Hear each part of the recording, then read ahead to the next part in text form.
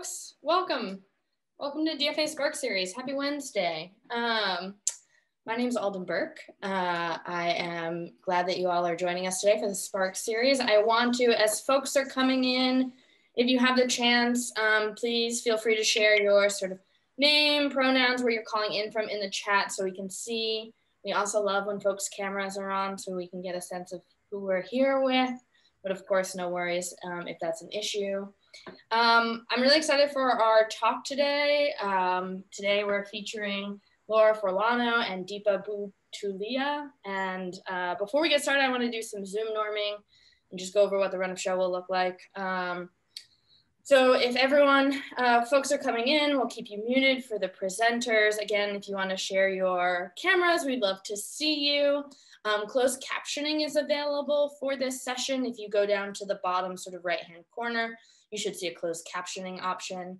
This session is also being recorded. It will be shared out on our Design for America YouTube channel.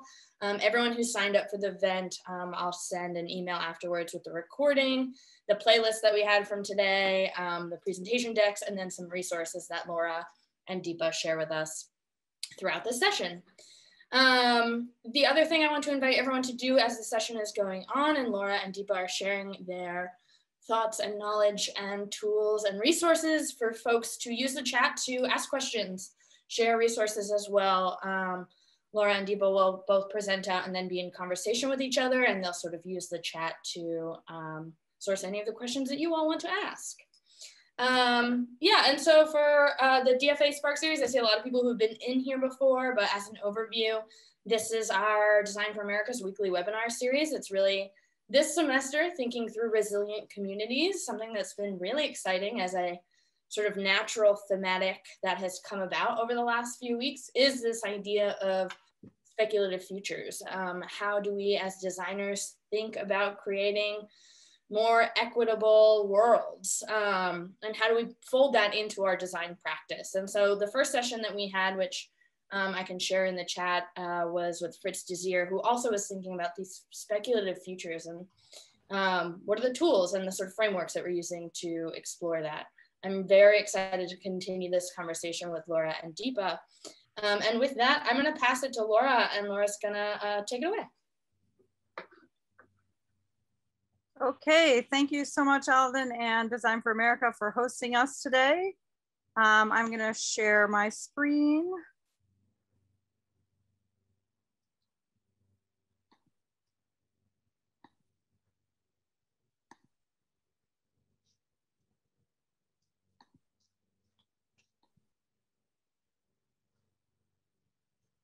Okay, so hopefully you can see that. Um, so I'm just gonna give you the highlights of this um, presentation around making critical more than human futures. Uh, so you have some images and some sense of the kind of work I do so that when we move into the conversation um, across Deepa's work and my work that we, you have some images in your head of what that might look like. Um, and I'm gonna go fairly quickly. Um, so, you know, I've, I've worked on a number of different projects throughout my career. I'm trained originally as a social scientist and then been working as a design researcher for about the, the last 10 years. And I've done edited book projects in a number of different areas, including social computing, science and technology studies, and design, and really trying to you know, bring together uh, conversations uh, from critical theory and the social sciences together with generative design methods. And um, I really started out my career, you know, in the year 2004, I was actually in an elevator in Budapest, and a senior member of my field asked me, um, you know, what I was going to study for my dissertation, and I said I was going to study the wireless internet, and that was, you know, in 2004. And he said, you can't study something that doesn't exist. And so that became kind of my quest throughout my career was to figure out what were the the sites I could go to, the, the people that I could study that I could get a window into, you know, people, things, and societies that don't exist yet. And that's what really brought me to design and to design futures in particular. Um, so I, you know, the, the theme of the future has come up at all of my field sites in recent years, uh, from the driverless city testbed at UMich um, to the Pratt Make the Future Here um, design accelerator. Um, but I'm really interested again in this idea of critical futures. critical futures, um, bringing together critical theory with speculative futures. And I'm also very interested in approaches around feminist futures, uh, justice, data feminism, and, and critical scholarship around disability, for example, in terms of reimagining more pluriversal worlds. So here's kind of a diagram that gives you a sense. Um, I built this on Stuart Candy's model for the ladder uh, futures laddering, uh, the idea that design fiction and experiential futures are some of the generative ways that futurists and designers are working. Um, but to that, I kind of added this category of design anthropology where projects might be more analytical um, and less exploratory. So I'm trying to, you know, here kind of make sense of and organize these different kinds of practices that I've been involved in over the years. Um, and I'm doing a lot of writing around this idea of the more than human or the post-human, um, other than human, um, both in terms of what do these languages provide us in terms of futuring. So uh, the idea here being that we need to learn other ways of living with both emerging technologies as well as natural environment that are more relational. So rather than thinking about the human as a discrete individual subject that's kind of separate from the world. We have to be more um, engaged with the ways in which our participation in the world with uh, technologies and with um, plants, animals, microbes, and the natural environment are, are more relational, meaning that they are dependent on one another.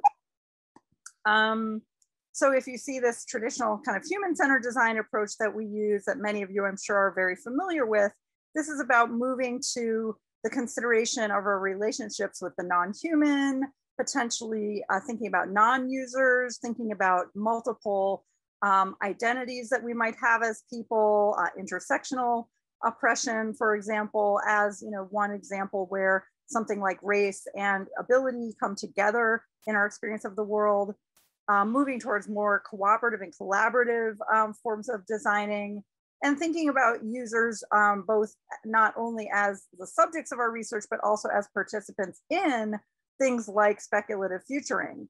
Um, and finally, moving towards uh, the dominant understanding of a user as a consumer to other, um, other types of engagement, such as the work of repair. And I know Deepa is going to talk more about that in her presentation. Um, so I'll just now show you some images that came out of some of the collaborative projects I've done all of my work does tend to be collaborative because I'm trained as a social scientist, as I said. So I'm often, you know, working with um, architects and fashion designers and um, lots of, you know, people who, who are able to really bring some of these critical and speculative visions um, together. Um, so the Driverless City project is a project that we did at IIT with the funding of the Nayar Prize, the initial uh, year of that Nayar Prize. So we were um, essentially funded by the university to work in a, an interdisciplinary team. And one of the, the mind maps that we created as part of that project, thinking through the social implications of autonomous vehicles, was actually published in the New York Times um, as part of one of their design issues. Um, and you can read more about that in this article on picturing the self-driving city.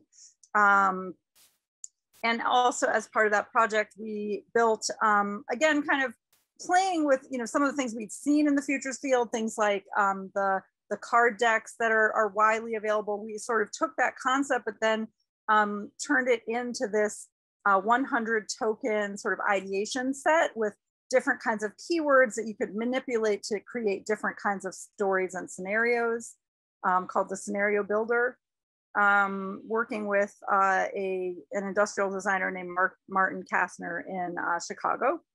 Um, another completely different project was on the future of work with support of the Open Society Foundations. Um, this work was done with Megan Halpern. Um, and this was a project that actually used a speculative historical game um, in which we created gameplay that went 3,000 years into history. And the idea here was that it opened up history as a speculative space through which social and economic justice um, uh, advocacy organizations could kind of be free of the constraints of their everyday work and instead think, you know, historically about the role of technology and uh, the future of work and sort of how how technologies and humans, you know, have had uh, you know, the ways in which um, humans and te technologies have, let's say, co-evolved over time.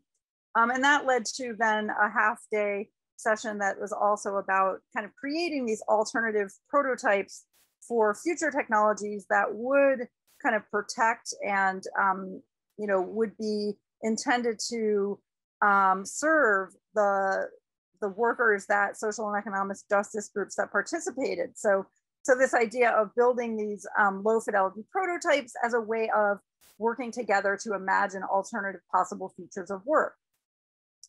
Um, another project is a computational fashion project, and this one was with two fashion designers, um, Mina Kao and Amy Sperber, and we we used essentially a 3D, you know, 3D printing and um, generative design methods to create this 3D um, printed men's dress shirt. Um, and, and the point of this project was to really experiment with sort of digital materiality, the way that um, the digital and the physical come together and sort of the role of craft and computation. And so it was, you know, very different approach. Um, and, you know, it was uh, about learning how to work with uh, these machines as a way of kind of create generating, um, you know, alternative possible uh, uh, fashion from the future, let's say. Um, and finally, the project that I've been working on most recently, this idea of, you know, um, my own identity as a type 1 diabetic and thinking about what it means to live with AI driven medical devices. Um, and I've written about this, um, you know, drawing on autoethnographic methods um, in an article um, in which I kind of make this point that while this AI system is keep, keeping me alive, it's also ruining my life. Um, and I've written about that in an article in public books called The Danger of Intimate Algorithms, if you're interested in that. Um, and lastly, the, this project, as part of that research, working with a fashion designer, uh, Sky Cubacub in Chicago, who runs Rebirth Garments, and to kind of prototype this bathing suit that is sort of to accommodate, um, you know, the insulin pump and, and thinking about questions around privacy and chronic illness um, and sort of what it means to, you know, go about everyday, you know, life, like mundane everyday situations, such as going to the beach when you have that crip um, identity, for example. Um, so these are all very different projects, and I would say that they touch on speculation in quite different ways. Some of them are more participatory, some of them look like prototypes, um, but they are all about trying to bring together that critical theory from the social sciences into conversation with generative design methods. Um, and I think in terms of my um, orientation, um, I think about you know the role of positionality that we as designers really need to make our um, our positionality more explicit to sort of what identities do we hold and how does that impact our design work and what kinds of futures we imagine um, and what kind of alternative possibilities um, to acknowledge, you know, in the feminist theory vein that everyone has partial knowledge. And I think that sort of underpins some of the uh, participatory design approaches that, that sort of stakeholders are coming with knowledge um, and to, to, sort of move beyond our um, typical human-centered design relationship with technologies and tools and towards an understanding of living with socio-technical systems and really in these relational cultures. And so that's kind of what I think of as my research program around making critical futures. Um, it's, you know, it is fairly, fairly broad and expansive and multi-scalar and, you know, inventive in different ways. But I, um, again, you know, the, the core theme there is really about how can we bring together, you know, critical theory and speculative uh, futures work? And with that, I'm going to turn it over to Deepa before we uh, have a cross-cutting conversation about that. Thank you, Laura. I'll share my screen quickly. Oh. Um, I'm not sure what's going on, but I'm not able to see my, uh, hold on a second. Yeah, now I see it. Okay. Um,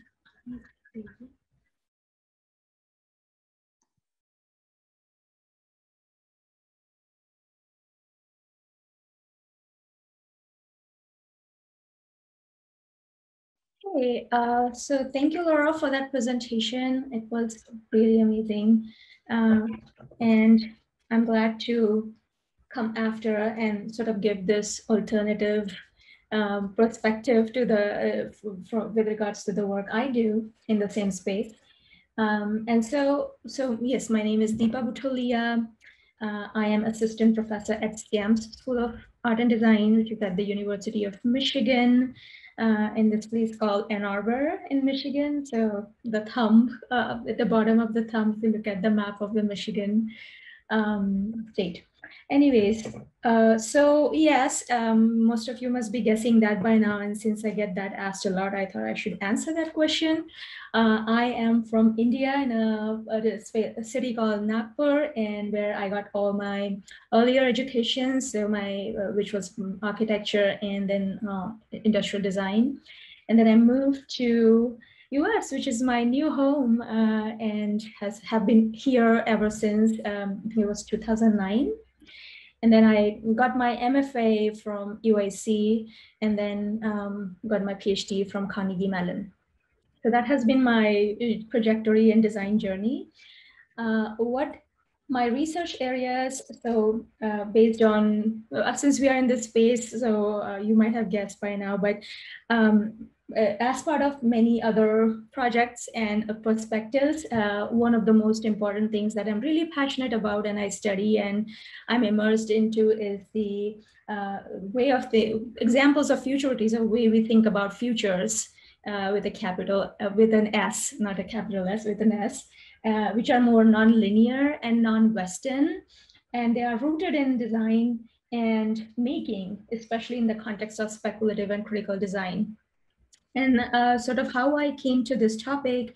Um, again, uh, when I came to Chicago for my master's, uh, I was uh, I was studying under Bruce Tharp and Stephanie Tharp, who are known for discursive design. If you guys are familiar with that term, and uh, that's how I got interested in this whole space. But for someone being from uh, two different continents, two cultures and uh, experiences, I found it um, that all my education, all my life has been shaped by very heavy Western thought. And uh, it, even in even being in India, a lot of the books we were studying were written by Western authors. The concepts we were uh, uncritically examining and just swallowing because it comes from the mighty West. Um, uh, so we were never taught to question those things. And so we thought, you know, this is like, this is what we should know. This is if you need to be uh, abreast with what's happening in the field. And so when I started my master's here, uh, I was a bit frustrated with what was going on, uh, even though it was fascinating, but I, I couldn't really relate to. And like Laura said, uh, when I was asked, what do you want to do for your PhD? I said, I want to study Jugaad, which is basically what um, my all my research and work revolves around. So it's a Hindi term. Hindi is um, the main language in India. Uh, and it basically it's pronounced jugaad. Uh, it kind of um, uh, means sort of local ingenuity, DIY with limited resources, um, sort of a quick fix. It's more of a mindset uh, it's part of a culture similar to music or food you know it's it's been practiced at different scales with different intentions um, so I cannot just say that one little hack is a jugaad. It could be anything. Um, and so it's, it's kind of like, like I said, it's a practice, it's a mindset, and it's very pervasive and it's understood in various ways.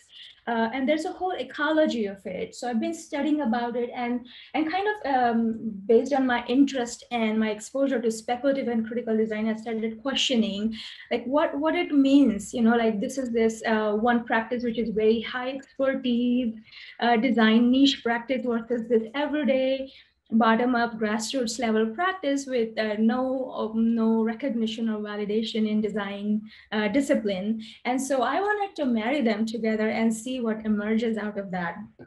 And so uh, so basically i started looking more deeply than what my cultural mind has trained me to look at it in ways of like it was just a way of life you know? I mean yes let's uh, figure out something. So that's how we will say um, you know jugaad karte so, uh, but I started thinking more deeply now in, in more, more design and design future sense. And I thought the most uh, since we're talking about resilient communities, the most value this practice has come, uh, has given to the culture, and not only I'm talking about South Asia, but this practice can be found across many um, developing countries, and even mm, let's say the term global South, so to speak, it's, it can be found in places where there are less resources and more resiliency. So I think the most value this practice has created uh, in terms of creating resilient communities is through this idea of DIY making. And um, so how we would recognize in a much more Western senses with a space that we can call maker space. And that's what comes to mind immediately, right? Makerspace, make magazine, maker fairs, hackathons, all that sort of uh, stuff in which a bunch of white engineers are using tools and Arduinos and 3D printers and building stuff. Um, but growing up in, in, in, a culture in which we are uh, really um, in good relationship with the objects we own and we want to have a long-term relationships with them. And so um, our culture is full of spaces uh, where you can easily get anything fixed. And i never uh, for a second thought that this would not be a part of the future. And so flash forward um, to 20 years where i got to uh, or 20 years or so um, um and I, I, and these places still exist like this exact place near my house where you can get things repaired. And so i started thinking about um, you know the value that jugaad creates in terms of making and creating resilient communities is through these repair spaces. So that's what we need to look at uh, in terms of a design community or a speculative futures community or um, as concerned citizens about the future that the value that these DIY practices create are not in the maker spaces, but in the repair spaces. That is what makes, because it not only creates um, income through informal economy uh, situations, but it also provides tools for people to um, own or take more ownership in the objects they use um, and, and have that committed relationship with the objects.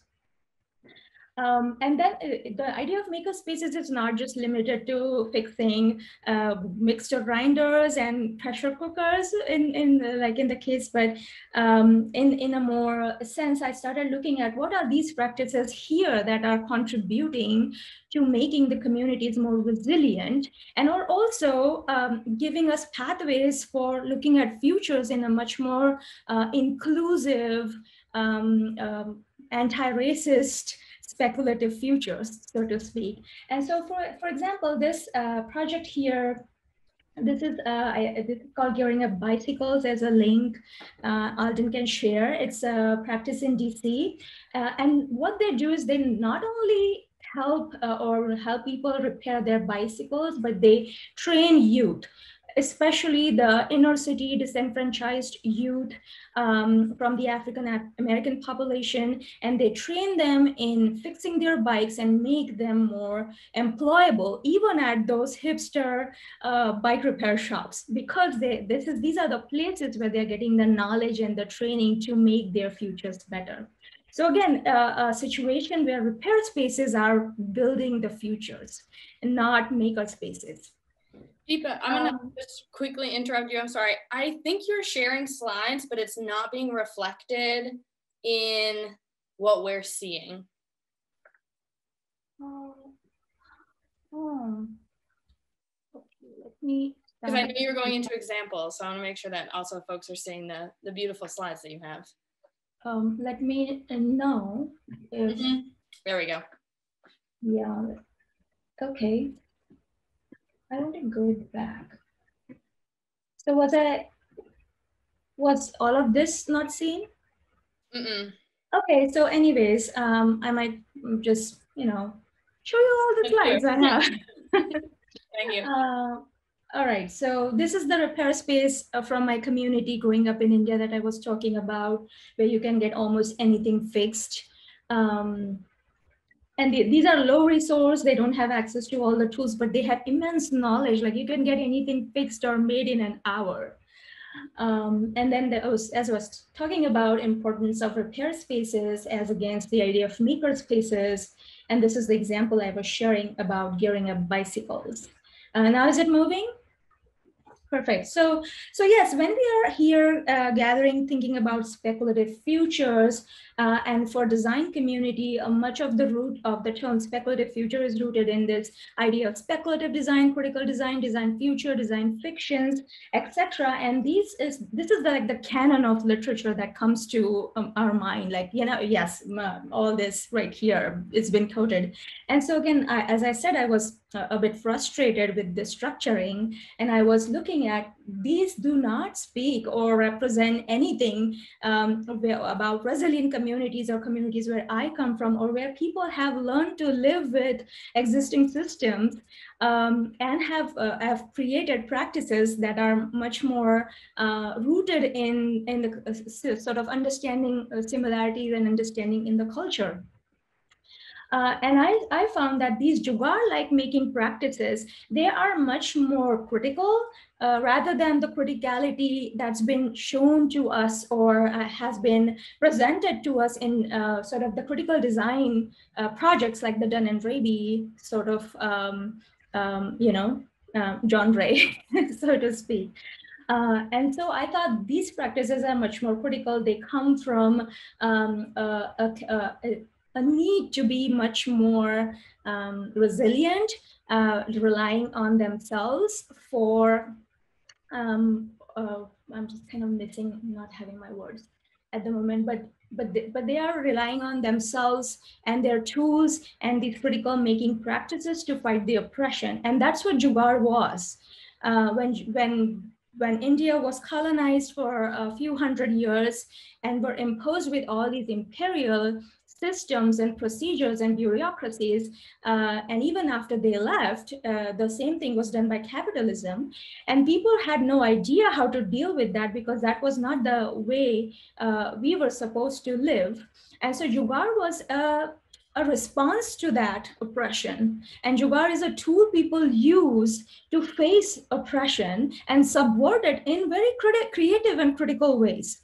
And so I thought like this is such a beautiful practice that speaks about not only speculative futures, but also uh, about resilient communities. Uh, and, and, of course, there is a whole world out there that kind of talks about alternatives to this uh, mainstream speculative and critical design practice. And my job as an educator and a researcher is to make these um, uh, alternatives more visible, to give voice to these practices that are otherwise marginalized in the mainstream conversations on design. And I'm so glad that I get to present this to something called Design for America, because even if it's about marginalized communities, it is much more relevant, especially to America, where more and more people, regardless of race and class, are getting disenfranchised because of the political divisions and uh, and the e-commerce um, supported capitalism and um, all and and the likes of that. And uh, also what has um, and it's not just these uh, avant-garde practices that are provocative and i'm not just trying to replace it with my vision of it but it's more sustainable. So it's not just a future where we are thinking of uh, what do we do with old technologies or what how do we use found objects? But there are some nuggets of wisdom in that culture and that practice and that also has pathways uh, and visions for uh, much more sustainable futures for everybody.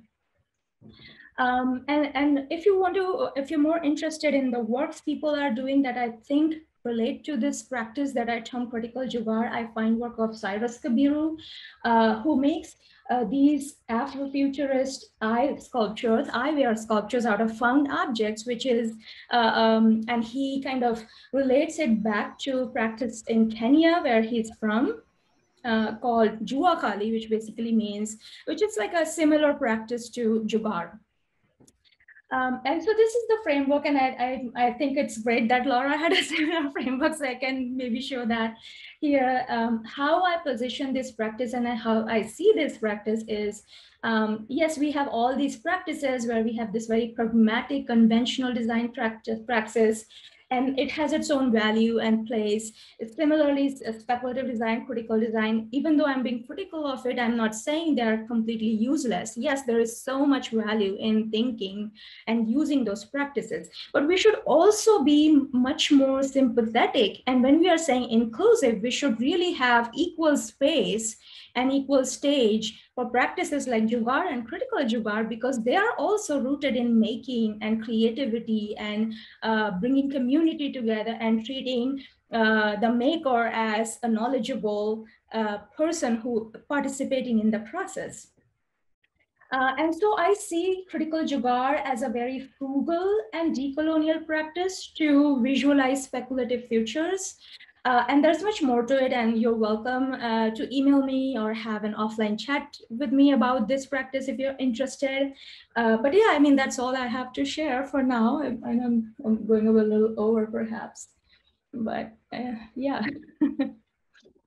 Great. Um, thank you so much. I think we have about 15 minutes or a little bit less for discussion. So I have a couple of questions um, that we can discuss. And I'll read them out in case they pique people's interest, but we're also very curious about what questions you have for us. So maybe you can put those questions in the chat and we can also read through those questions. Um, so thinking, thank you so much, Deepa. I was so glad that you were able to join. It's so wonderful to really have this rich conversation about, you know, what um, it's in a way, in a sense, you know, um, critical design is an alternative to sort of affirmative design or tr traditional yeah. human-centered design, but we're talking about the alternative to the alternative design, right? Because looking at something like crip futures, a disability, or looking at Jugaad futures, and, and you know, it's really going in, in a really different directions.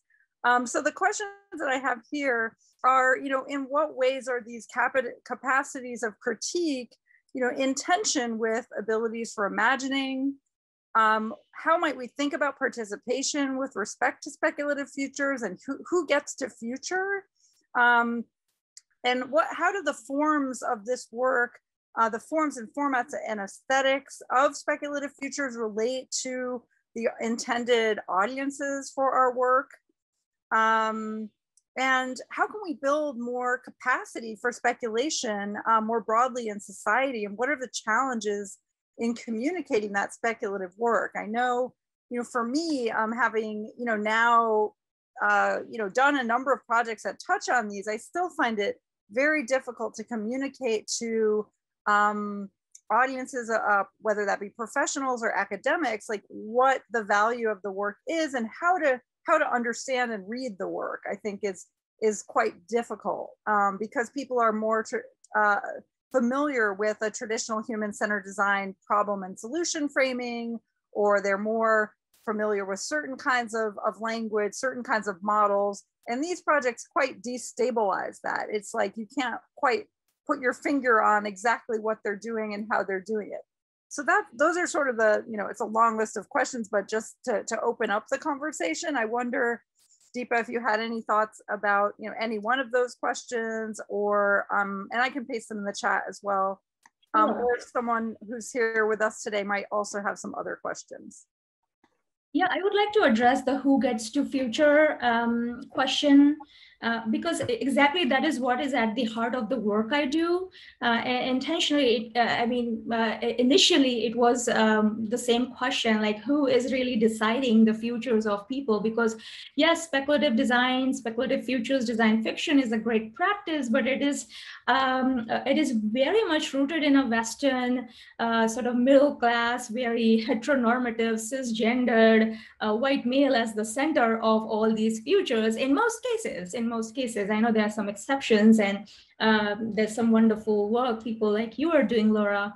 Uh, but this this is what I mean. Back in sort of 2012 2014 this is what what what was going on uh, where all my work um, and my curiosity stemmed from and i think this is a really good question to ask who gets to future and one of the ways um, is like letting people, uh, you know, like how they say that if you go with a camera in the field and take pictures, it's your gaze. It's like looking down on the subjects versus giving them the camera and letting them decide uh, how would they do it with a little uh, sympathetic guidance in terms of, um, you know, like this are the tools. How would you, how do you intend to future? How do you see yourself? Uh, and and for me, it has been looking at practices like Jugaad and giving it a critical lens is a way that I still let them, let the practices coming from uh, grassroots and bottom up, uh, making practices, let, uh, let them be authentic, let them be genuine, because there's no formula for it. But at the same time, um, legitimizing it and making it visible, that's how I, uh, I think I participate in who gets to future um, situation and everybody could have their own visions and versions of it. But i think it's high time uh, we let people design their own futures and we use the privilege we have as academia uh, as as uh, educators and in academia um, give them voice and place to um, show their practices. And of course, at the same time, there are artists like Cyrus Kabiru who are doing that already uh, and also being very proud of it. Uh, so I think we need more and more of those alternatives being given space and voice uh, in this mainstream. Yeah, one of the things that struck me seeing your presentation, Deepa, is about the temporal boundaries of the future. And I think that that's one way also the Future of Work project I presented, which because it went 3,000 years into history, it's often right. recognized as a futures project. Right. Um, and so it is true that I think a lot of the perhaps um, critical design approaches, they they tend to fixate on particular temporal frames and say, well, what about 100 years in the future? Or what about this kind of future or that? And I wonder, how do you see the work of the artist that you showed with the eyeglasses? Like, how do you understand that from the perspective of, of like temporality, for example? Yeah, yeah. I mean, temporality is such a like the linear temporality is a very Western concept. The idea of calendars and tomorrow and future, it is like rooted in the language. But if you, uh, I heard this talk from Pupul Bisht, uh, who is another um, um, speculative researcher of Indian origin, who, who kind of beautifully laid out the idea that in Indian language, the word for yesterday and tomorrow is the same. We say kal. And in the conversation, somebody figures out if I'm talking about yesterday or, or the coming day. And so the idea of time in many culture is circular. Um, and this linearity is built into the futurities we imagine, and it's been heavily guided by media and uh, speculative fiction writings. Um, and so I think it's it's it's really important for me that we have these alternatives, like the, from the indigenous communities, um, looking at work like Chicana futurism, uh, in which, if you know the work of um, what was her uh, name, um, Chicana futurism. Ramirez. I think I've shared the link with Alden. Um, you know, she works with these uh, Hispanic um, uh, images and idols of saints.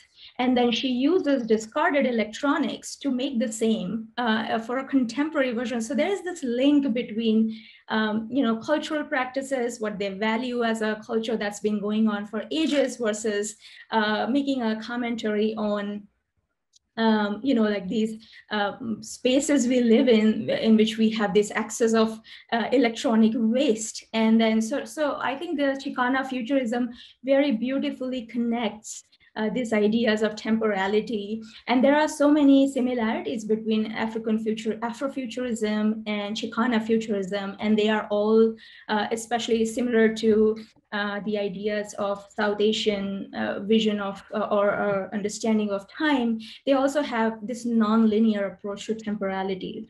Um, and so, so I think it's all about making sure that we are also giving similar value to a non-linear vision of futurity uh, versus more linear. Yeah, that that's wonderful really makes a lot of sense. Um, does anyone have questions that they wanted to pose? I think we have about three to five more minutes um, before we need to wrap up. Would love to hear, you know, what you all are thinking about and specific questions you might have for us.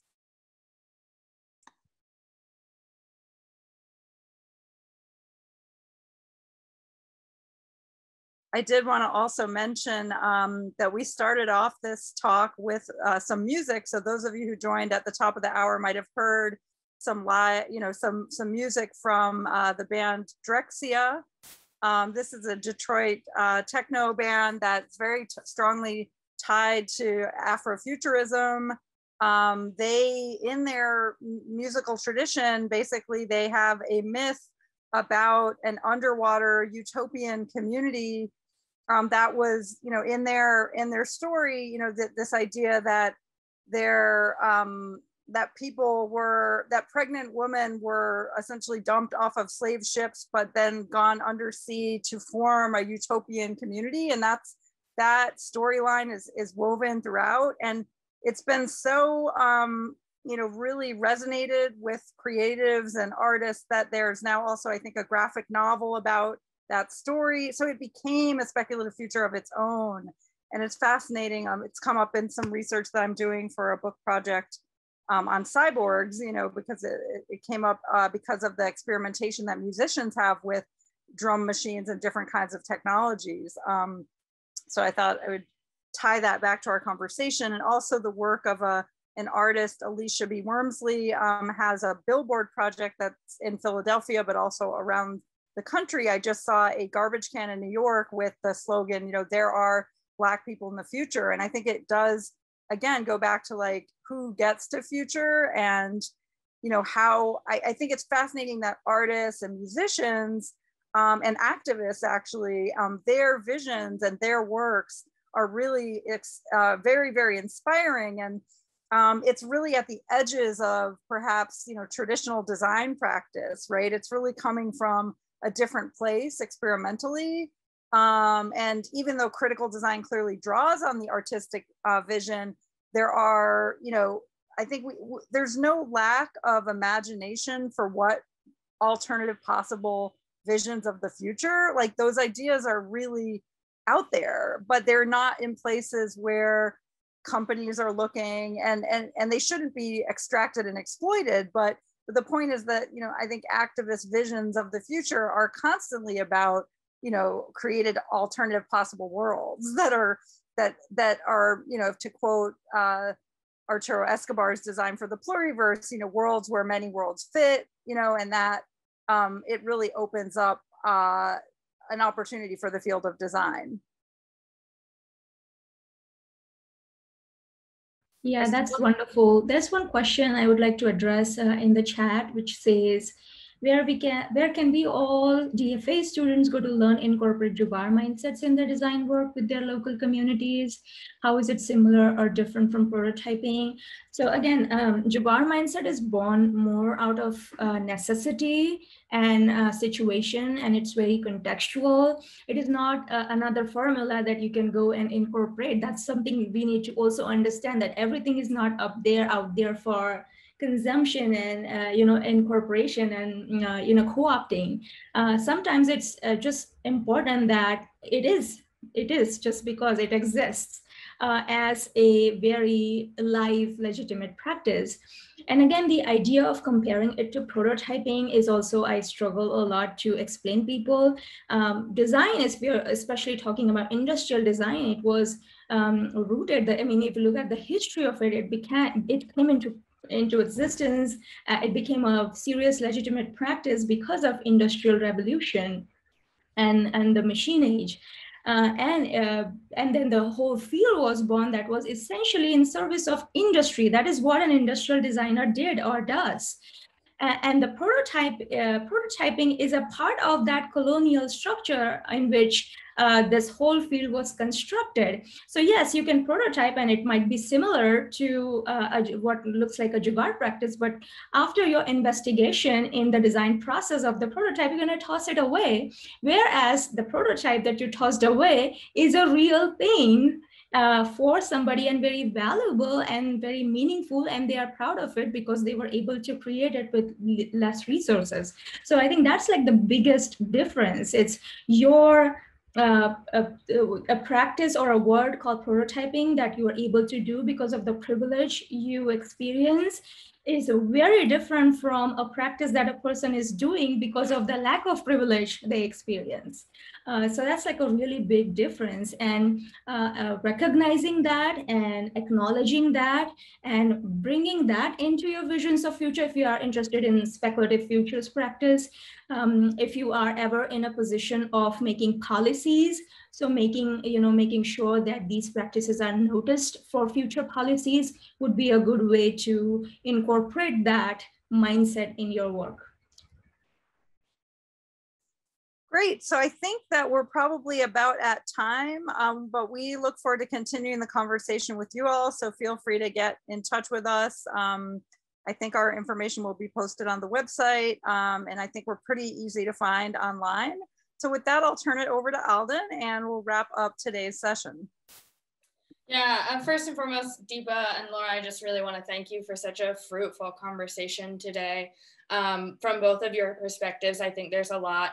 Yeah, I also love this question of like, yeah, who is futuring? Who's doing that work? It also made me think of like, who's also like allowed to be a critic or like what is criticality too and this sort of like pushing up against i think a lot of what y'all were talking about this notion of expertise um, as well. So that's something that i'm going to take with me um, moving forward. Yeah some two things i want to quickly plug. Um, this conversation uh, the dfa sparks series will continue next wednesday.